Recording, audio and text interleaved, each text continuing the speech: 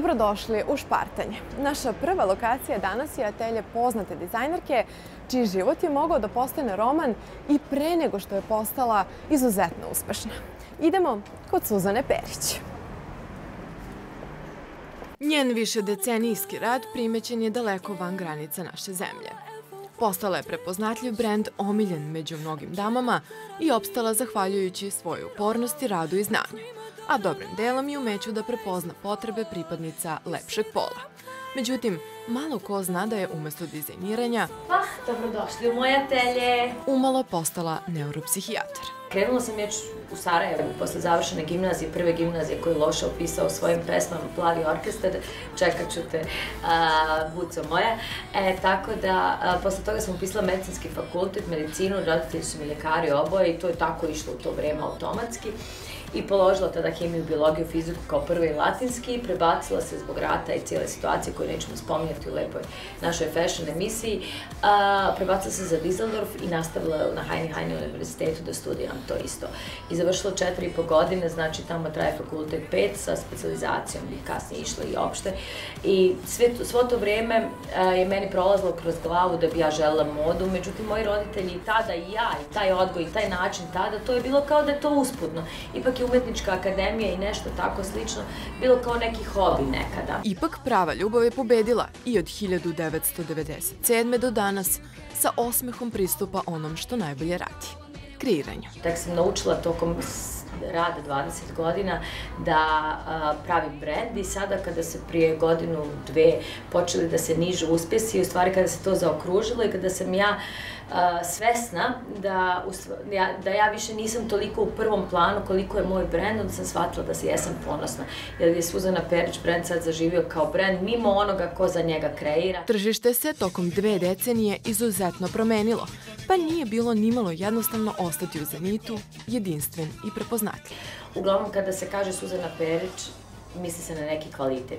Može neko lično da voli mene ili ne voli da me simpatiše, da kaže imaš lepu kosu, go, ima naglasak bosanski, ima ovo. To su sve lični opisi nekoga ko radi za taj brend, ali kao brend dosta je omiljen i za to sam ponosna. Ako mislite da je u Suzaninom životu sve išlo lako, varate se.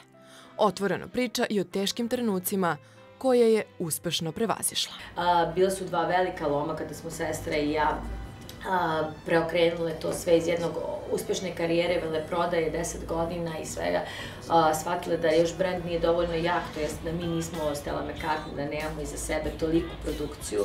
I onda smo se smanjile, preokrenule, ponovo iz početka sa svim ponovnim financijskim padovima i onda opet uspjesi, onda opet razdvajanje, njen odlazak za Njemačku, moje ostajanje u Srbiji i opet neka kasnije spajanje nas dve. Moj razvod u svemu tome, Tiffany koja ima 11 godina, sve to je, ali iza ovoga svega sad odgovor stoji inspiracija, to je dama. Nagrada za svoj rad ima napredak. Samo jedna u nizu je i nedavno priznanje za damu godine.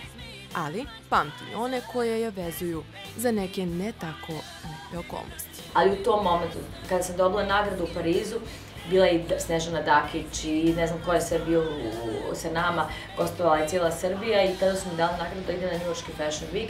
Mi smo krenuli ka aerodromu i da bukiramo karte, dogodio se 11. septembar, evo to nisam nikada spomenula.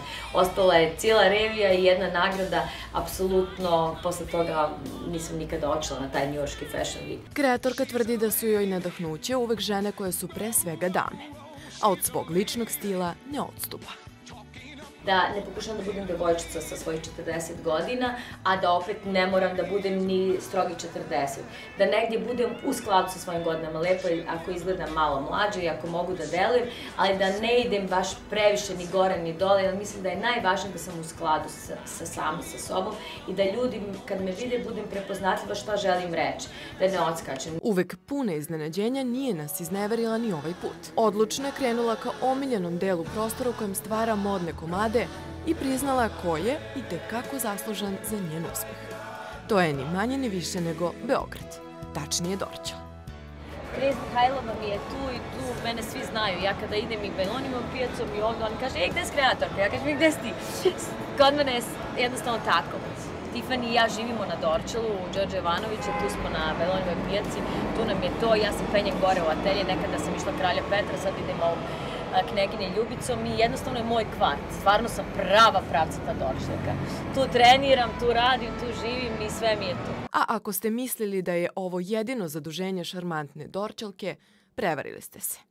Ona je i direktorka modnog magazina Bazar, te nas je povela i u redakciju. To je spoj tradicije, fashiona, novog trenda, um, tiraža i opet da zadovolje sve potrebe uh, koje su po standardima, a da budu drugačiji. Ja mislim da Bazar jednostavno uh, ima svoj comeback svakih određenih periodi, da je ovo sad njegov comeback. Ponosna je na timski rad sa kolegama i na naslovne strane, kojima bi i čuveni Bog pozavideo. Ja sam sama uh, htela ranije da se bavim time i uvijek sam imala želju da jednog dana kad to prestane da budem ne, uh, u Vogu ili tako dalje. Pošto to nemaju licence koje su ovde, kada smo razgovarali, ja sam izrazila želju da budem u bazaru.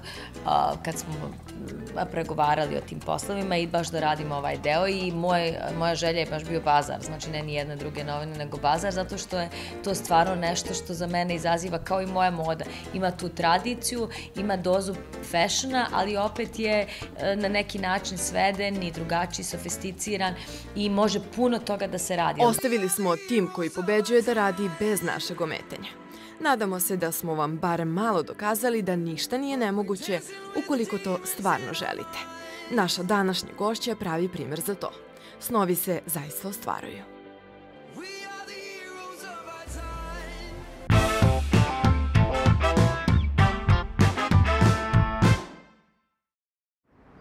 Neka vas ovo zuboto sunce ne zavara. Uskoro sledi zima, a sa njom i niske temperature. Međutim, ima i ovo godišnje doba svojih prednosti. Danas vam u rubrici Male tajne velikih majstora pokazujemo kako da sami napravite šal, džemper ili pončo za hladne dane koji slede. Za šal koji će vas štititi od hladnoće ne treba vam nikakav alat osim vaših ruku. Milena Šekularac savladila je tehniku pletenja i tvrdi da za pola sata napravi komad koji je nezaobilazan tokom zime. Potrebno vam je 300 grama vune i dobro volje. Izmerite šest dužina ruku od ramena do šake i obmotajte vunu oko zglobova. Neizmenično prebacujte sa zgloba na zglob. Evo ovako da pokažem kako se završava. Provlačimo svaku sledeću kroz ovu prethodnu.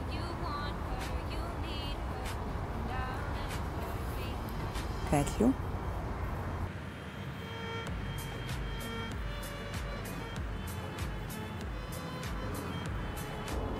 Praktično pravimo kao neki mrtvi čvor gde ne možemo dalje da pletemo.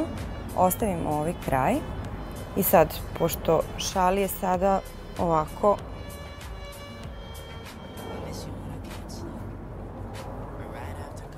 u kontinuitetu. Ono što radimo je da uhvatimo dakle početke, evo ovako. Ovo je naličje šala. Sećate se onog e, kanapa koji smo ostavili na samom početku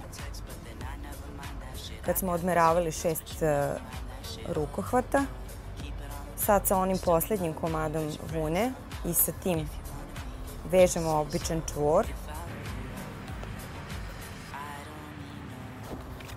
Makazama isečemo parče koje viri. A ovim dugim krajem, ovim velikim, bukvalno šijemo. Dakle, za ovo nam čak ne treba ni igla, ništa, sve svojim rukama radimo. Sem vune i makaza, drugo ništa nije potrebno da bi se šal napravio. Pošto su petlje dovoljno velike da možete da provučete prste kroz to, Tako, nađemo gde je početak zapravo. Evo ovako.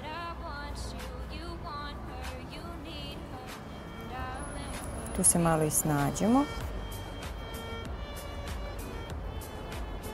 ovako. Došli smo do samog kraja. Ušili to. Sad, pošto imamo ostatak vune sa druge strane, zavežemo opet jedan čvor.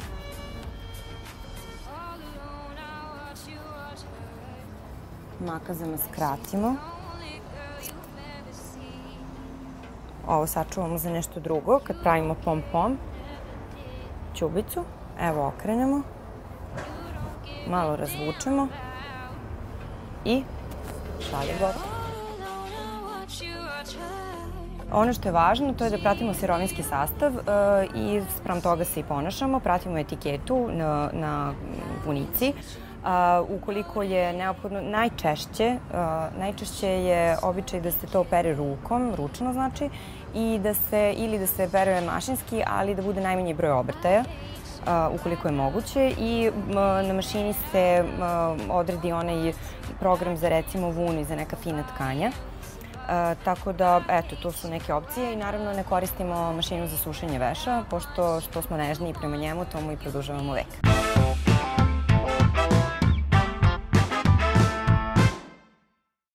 Mnogi od nas od oktobra do aprila zapadnu u takozvani zimski san. Međutim, niske temperature nisu dovoljan izgovor da ne vežbamo. Danas u rubrici Nedahnuće nedelje vežbamo jogu. Uz naporan raspored obaveza svakog dana nije lako ostati pri onom u zdravom telu zdrav duh. Ipak, yoga balans nam pomaže upravo u tome, odnosno u poboljšanju koncentracije i ravnoteže. Kao prvo, moj koncept balans joge je da se vratimo u ravnotežu sa sobom i sa prirodom.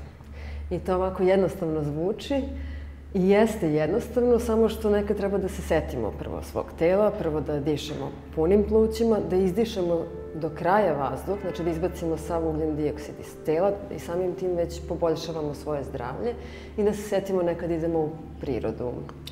A, ja koristim rekvizite za jogu da bi svakom omogućila da što dublje i što pravilnije uđe u položaj bez mogućnosti da se povredi i istegne neki deo tela. Ali zapravo za jogu vam nije potrebno ništa. Dovoljno je samo da izdvojite vreme za to i dobra volja.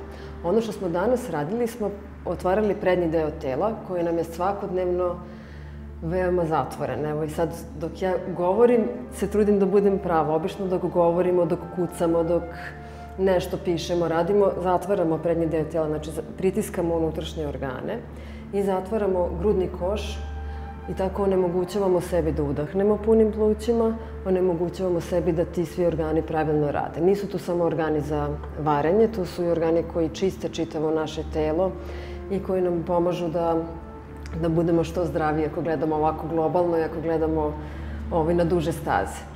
Tako da smo mi danas dosta otvorili prednju stranu tela, a posebno sa ciglicama smo otvorili abdominalni deo, karlični deo i posle uh, grudni deo kičme. Za bilo kakav pomak potrebno je upražnjavati ovu vrstu drevne veštine barem dva puta nedeljno.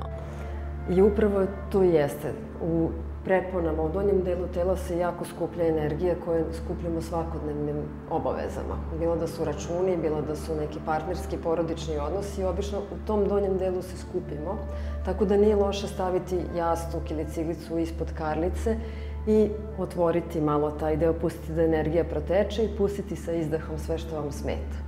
Kad stavimo ciglicu ispod grudnog koša, otvaramo ovaj srčani deo koji je vezan za emocije, za zadržavanje emocije ili puštanje. Neko ima ovaj problem, neko ima one.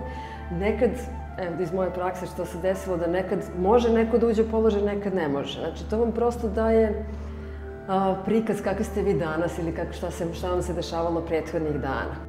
Osim napretka na fizičkom nivou, na mentalno-emotivnom planu yoga balans pobuđuje nam duboki mir i osjećaj unutrašnjeg sklada, tako da je dobro praktikovati ovu vežbu u stresnim situacijama, kada osjećate napetost ili unutrašnji nemir. A, pa posle tog vremenskog perioda, pogotovo ili čak i starije osobe, nastavljaju i dalje, dalje da dolaze zato što su ispravili kičmeni stup, popravili celu posturu, a samim tim jel, poboljšali rad svojih unutrašnjih organa, poboljšali disanje i što može da se primeni, recimo, primeti i promena na koži. Znači, Čistimo se udah, izdah, puštamo sve što nam smeta, bez predrasuda da li je moguće ili nemoguće, samo sa izdahom pustite.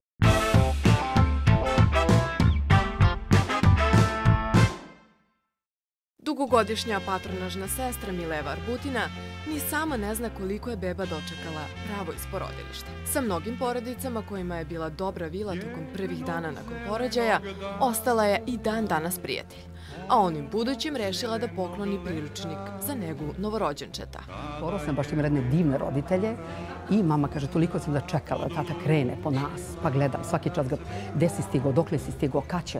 A onda kad smo došli kući, stavili smo tu našu princezu sa nosiljkom zajedno na sto, seli, gledamo se, a onda ja kažem mom suprugu, mnogo bi bilo lepo da na ovoj nosiljci ima još i upustvo za upotrebu. Najbitnija stvar koju me naučila da mogu da budem savršena mama i da mogu da dojim svoju bebu. Gledajući druge mame, shvatila sam da je izuzetno teško e, biti uspešna mama.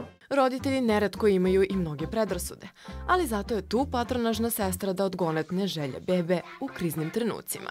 Obično, kad beba dođe kući, počnemo već da mislimo kako će to izgledati, da li ćemo umeti da dojimo, kako ćemo prepoznati da naša beba sita. Ali ti grčevi, pa to su nam bauk jedan pravi. Jer drugi roditelji nekako zaplaše roditelje koji tek post, treba da postanu roditelji, otprilike vidjet ćete vi kad dobijete bebu. Pa mi nismo spavali dva meseca nismo spavali tri meseca kad smo postali roditelji. I tako da roditelji nekako postaju roditelji, a već sa strahom kako ćemo mi taj period izgurati. U priručniku je temeljno objasnila sve situacije i dala brojne savete na najvažnije teme tokom prvih meseci nakon porođaja.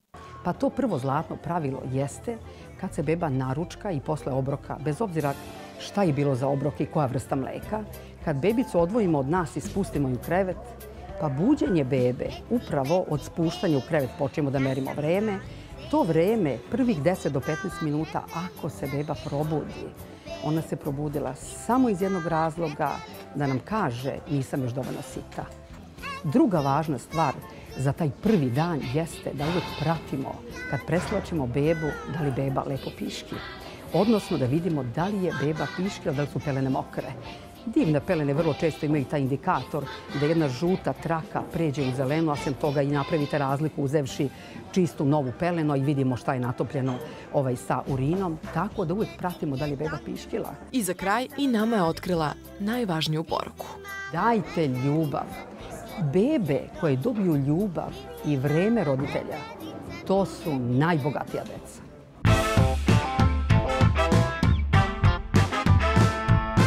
Poznate dame širom sveta iskoristile su svoj uticaj i odavno putem medija istakle važnost dojenja. A koliko su priručnik, saveti i prvi meseci nakon porođaja presudni za razvoj i zdravlje bebe, ali i mame, potvrdila nam je i doktorka Svetlana Vujović. Žene koje ne doje ili koje se nisu porodile nikad ne razviju dojke do kraja. A to je jako važno za zdravlje žene i za zdravlje dojke. Ističe da konstantno treba raditi na tome da se kod budućih porodilja podigne svest o ovoj temi. Treba forsirati dojenje uz e, obučavanje brojnih osoba koje će toplim pristupom porodilji koja je ranjiva u tom periodu e, prići nežno, e, biti joj podrška i naučiti je kako da doji bebu. Prisnost koju dete i majka stvore kroz ovakav kontakt ima višestruki značaj. Tako da taj kontakt koji se stvara u bebinoj glavi pravi zauvek, za ceo život, stabilniju ličnost e, i osobu koja će kroz život lakše da prolazi. Kontakt između majke i deteta koji se tada napravi je neraskidiv I to treba obilno da koriste sve žene, da se bore, da doje i da se ne plaše da će dojka da se tako promeni, pa će biti tako ružna, da kako će ona posle u seksualnom životu i u aspektima izgledati. To naprosto nije tačno. Strah od mastitisa i drugih infekcija prisutan je kod mnogih žena. Međutim, svi problemi se uz adekvatne savete lako izbegnu uz odgovarajuću masažu dojke, stimulaciju, uz izbacivanje sveg tog zaostalog mleka koje možda beba ne uzme ili koje bi ostalo, e, se postiže jedna zdrava dojka koja će istvarati mleko, ali i ona će izlaziti napolje.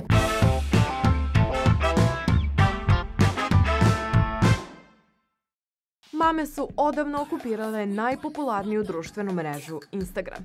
Jedna od onih koje je u svetu izazvala brojne kontroverze je i fitness mama Sara Stage. Na račun svog izgleda dobila je pregršt komplimenata, ali i osuda. Tokom dve trudnoće Sara je na Instagramu ponosno pokazivala svoje trbušnjake i mišiće, zbog kojih je izazvala sumnju da je uopšte u drugom stanju. Uprkos brojnim napadima da njen ritam života nije zdrav ni za nju, ni za bebu, Stageova je ostala dosledna sebi i istakla da je sa njenom porodicom sve u redu.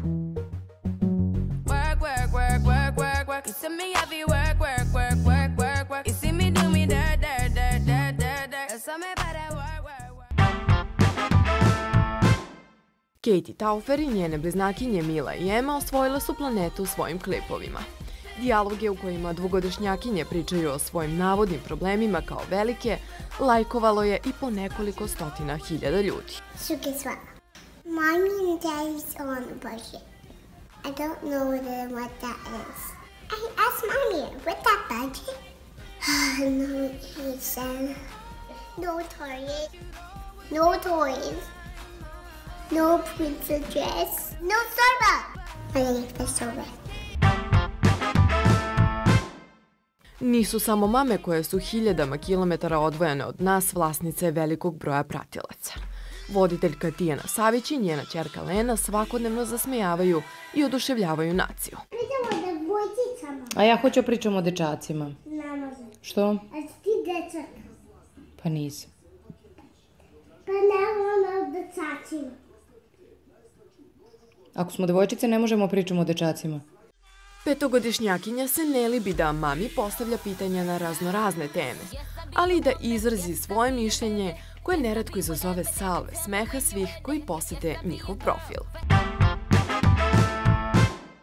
Lepa crnogorka, mama Milica, koja je samohrana majka, svoje vaspitne metode deli upravo na ovoj društvenoj mreži. I njena mezimica je takođe njen veran pratilac u svakodnevnim životnim situacijama, pa majci daje savete i kada je o ljubavnim problemima reč. Ništa neće, samo trebaš da čistiš nešto. A, misliš da sam bacila napolje, u pravu si. Ja se izvinjavam. Samo trebaš da čistiš. Zašto mi nisi napomenula? Da ti ona miriše, da, da, da bude čista, a ne, zamislite da, da, da sve, da svuda kuda ideš da bude smeće. Bravo, ljubavi. Tako to. treba. Zamisli, zamisli to. Ja sam se zaboravila. Izvini, molim te. Zamisli to da ti sve bude prljavo, da se smrdi. Užas, užas. Mama, ti znaš da mama ne voli da se baci smeće. Za kraj smo ostavili Saru Oster, koja je sa profilom Momsters napravila revoluciju. Lepa crnka supruga je popularnog pevača Marka Rokvića i mama dvogodišnjeg despota. Njen blog i Instagram nalog nastao je iz hobija i želje da sa drugim mamama podeli svoje iskustva. Momsters je nastao e, tako na jedan čudan, mogu da kažem slobodno čudan način, zato što je to bio onaj period nakon što se ja porodila. I to su one e, besane noći sa malom bebom kada se budiš na svakih sat, dva, tri, koliko god, sediš, dojiš bebu, gledaš u telefon, tražiš razne informacije vezane za roditeljstvo, za majčinstvo i onda sam na kraju odlučila da napravim jedan, slobodno da kažem, mali Instagram profil samo za moje drugarice i mene i da mi tu zajedno razmenjujemo savete i koje kako iskustva. Zanimalo nas je da li je danas lako zadobiti naklonost ljudi ili ipak nekome ko ima porodicu i brojne obaveze Instagram oduzima mnogo vremena. Oduzima toliko da nekad stvarno e, mi dođe koliko god e, moji pratioci ne bi voli to da čuju da kažem gasim. Gasim, mam se sliča da postoji, ne mogu sve da postignem, ali taj reciprocitet ljubavi koji prolazi kroz taj profil meni zaista ne dozvoljava da ja to više čak i pomislim, a kamoli, kamoli uradim. Mamsters ima i brojne humanitarne akcije u kojima se žene, ali i muškarci udružuju kako bi pomogli onima kojima je pomoć najpotrebnija. Konkretno mislim na akciju koja je sprovedena na Mamstersu. Sad ev, kreće upravo nam traje, to je samohrana mama nije sama, gdje se sve udružujemo i pomažemo i ženama koje su samohrane, šaljemo paketiće na njihove kućne adrese i to se udruži preko 60-10 žena. Mi se družimo u direktu, dopisujemo, zahvaljujemo jedno drugo i to je zaista jedna prelepa, da ne zvuči kao kliša, ali energija.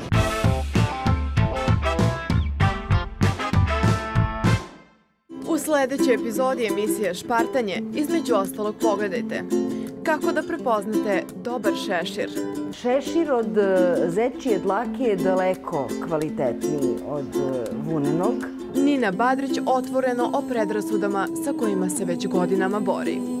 Pa napraviš jednu ono svoj tako je ono jednu neću reći masku, nego jednu ono zaštitu naspram ljudi, morat ćeš se dobro upotruditi da me upoznaš. Baš onu pravu Ninu, baš onog čovjeka, ne ovo šta vidiš, nego da baš se nazovemo prijatelji, trebale bi proći godine.